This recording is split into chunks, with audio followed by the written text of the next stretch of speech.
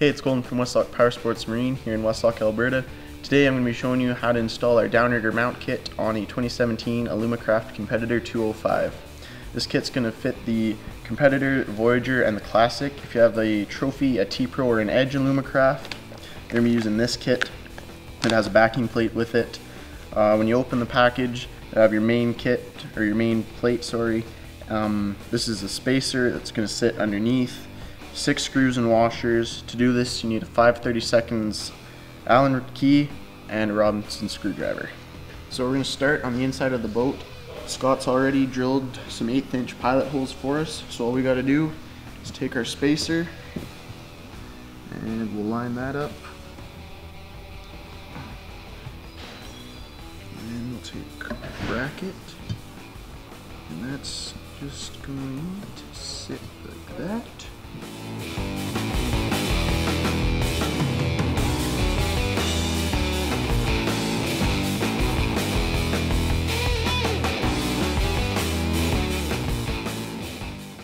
Now back on the outside of the boat here, our, once again our pilot holes have already been drilled, so all we got to do is line our screws up with the existing holes.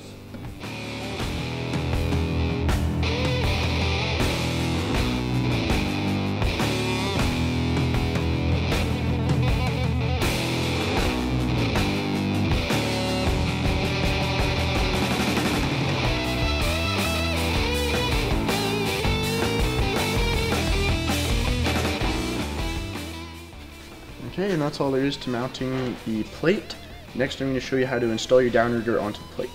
Our downrigger mounting plates fit uh, two different types of downriggers. If you have a Cannon downrigger, you're going to use these inside four holes, and for a Scotty downrigger, you're going to mount it on the outside four. So we're going to be mounting a Cannon, so we're going to use the inside four.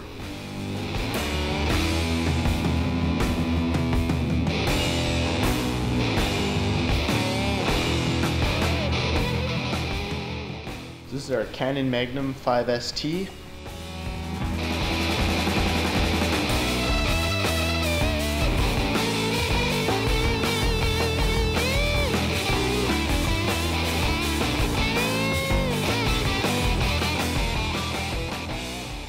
So that's our downrigger mounting kit. It's made right here in Westlock, Alberta. Make sure you come check out this boat as well as a bunch of others at the uh, Edmonton Boat Show weekend of the 16th to the 19th. Also, be sure to like and share this video.